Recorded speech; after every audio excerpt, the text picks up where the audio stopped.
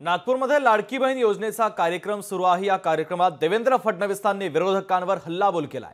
बहिणींच्या खात्यात पैसे आल्याने विरोधकांच्या पोटात दुखतंय असं फडणवीसांनी म्हटलंय. देवाभाऊ आहेत तोपर्यंत योजना बंद होणार नाही असं त्यांनी म्हटलेलं आहे.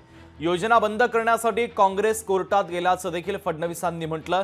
महिलांना सक्षम करण्यासाठी आमच्या सरकारच्या योजना आहेत. इतिहास बदलण्याची ताकद महिलांमध्ये आहे असं देवेंद्र फडणवीसांनी म्हटलेलं आहे. तर महिला विकसित झाल्या तरच भारत विकसित होणार. महाराष्ट्रात एक कोटी महिलांना लखपती दिदी बनवणार असल्याचं देखील देवेंद्र फडणवीसांनी म्हटलेलं आहे.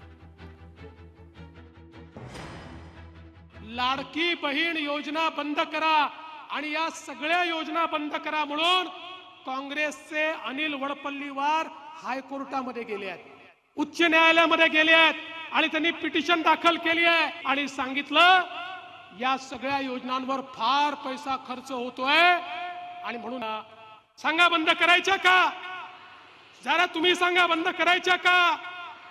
माझ्या बहिणींनो तुम्हाला एक गोष्ट सांगतो. आमच्या मुख्यमंत्र्यांच्या उपस्थितीमध्ये जोपर्यंत तुमचा देवा भाऊ या ठिकाणी आहे अरे हायकोर्टामध्ये मोठ्यात मोठा वकील उभा करू. आम्हाला या राखीची आड आहे. काही झालं तरी या योजनेवर स्थगिती येऊ देणार नाही. त्याकरता प्रयत्नांची शर्त करून आम्ही त्या ठिकाणी हायकोर्टामध्ये केस लढवू. बिजली चमकती है. तो आकाश बदल देती है। बिजली चमकती है तो आकाश बदल देती है। आंधी उठती है तो दिन रात बदल देती है। जब गरजती है नारी शक्ती तो इतिहास बदल देती है। अशा प्रकारचा इतिहास बदलण्याची शक्ती आज तुमच्या हातामध्ये आहे. आणि म्हणूनच आज या वेगवेगळ्या योजनांच्या माध्यमातून एक मोठं परिवर्तन आपण करतोय लोकशाही मराठी. ऐका.